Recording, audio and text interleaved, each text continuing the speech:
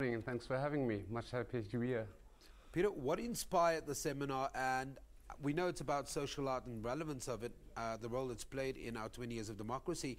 But what will some of the issues that will be discussed and addressed?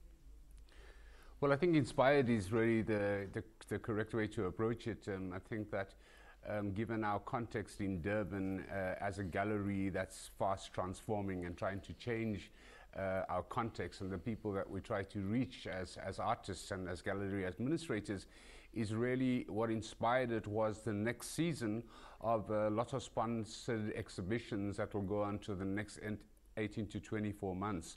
And as a collective at the gallery, we had to decide what we were going to do in this season, and social art was one of the criteria that the funders uh, had accepted.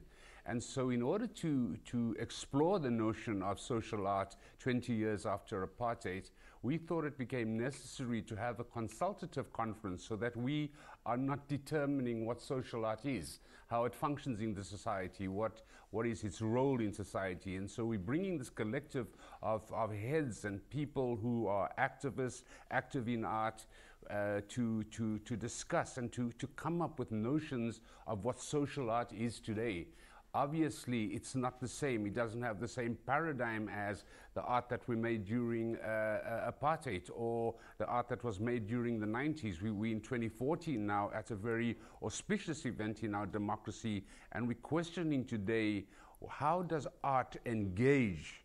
How does it reflect? How does it analyze the social context that we, that we live in? And in the context of, of all of those things that you've mentioned, Talk to me about the art experts and that contribution. Oh, sure.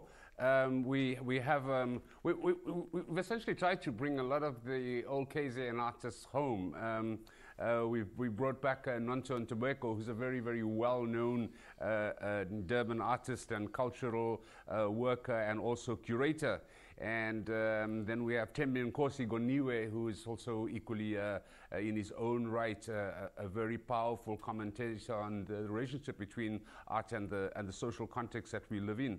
And uh, then we have Bren Brophy, who's the, the ex-curator of the, of, the, of the KZNSA gallery, but still works very closely in this collective that, we, uh, that we're bringing together for this occasion, and um, who's been very active in the, in the field of uh, HIV and AIDS and the role of art in, in speaking to the issue.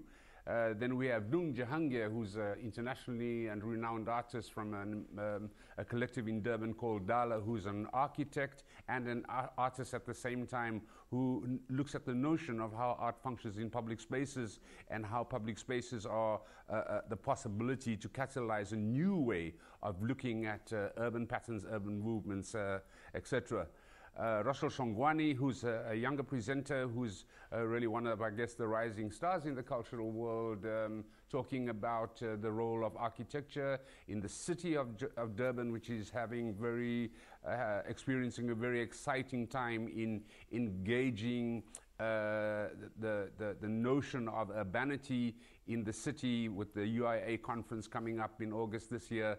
And then last but not least is uh, Sister Bongi Dhlomo from uh, from who's also from KZN, who comes with a long, long history of, an, of socially engaged art from Rorke's Drift, which is very well known uh, KZN collective, and who now functions at uh, in Johannesburg as one of the curators and has also worked on the, the Biko Museum in Ginsberg. So that's kind of the lineup, and um, we're bringing these folk together to ask them to reflect on social art. What does it mean today? And to this end, so that it's not just a boring talking head kind of uh, a, a, day, it's we're asking them to actually show examples of what they thought their best practice of social art is.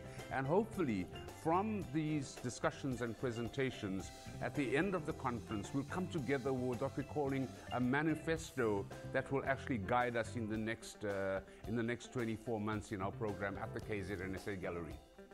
Peter, we're going to leave it there, but thank you very much for joining me from our Durban studios. That was the president of the KZNSA uh, Gallery, Peter McKenzie, speaking to us about the day long seminar in which the role of South African social art and its significance after 20 years of democracy will be discussed. Sounds very interesting.